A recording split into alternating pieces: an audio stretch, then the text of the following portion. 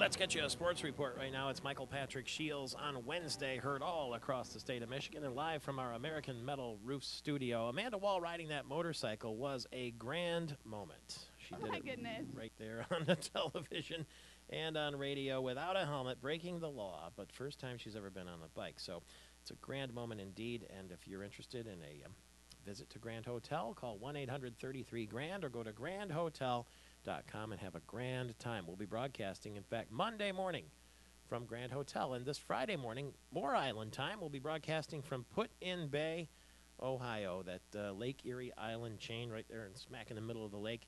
So we'll be in Lake Erie on Friday, and uh, on Monday we'll be in the Straits of Mackinac in between Lake Huron and Lake Michigan. Uh, the uh, U.S. men's soccer team beat Canada 2 0 on goals from uh, Jozy Altidore and Clint Dempsey at Ford Field in Detroit yesterday. It's the 12 team Gold Cup tournament. And the tournament final, June 25th, my birthday, at the Rose Bowl in Pasadena, California. We'll hear from Roger Faulkner, our soccer expert, tomorrow. Dirk Nowitzki scored 10 of his 21 points in the fourth quarter. The Mavericks came back and beat the Heat yesterday in Game 4 of the NBA Finals. LeBron James had only eight points, and that series is tied at two games to two. Uh, game five is Thursday in Dallas. I wonder if King James is getting a little bit nervous.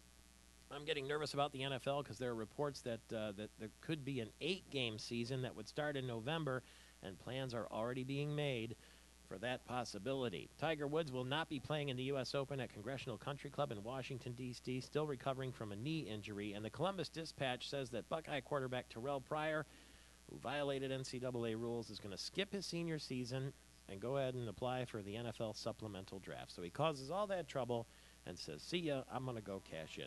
Floyd Mayweather Jr., uh, the six time champion, is going to fight again welterweight champion Victor Ortiz, and that'll be September 17th at a venue to be named.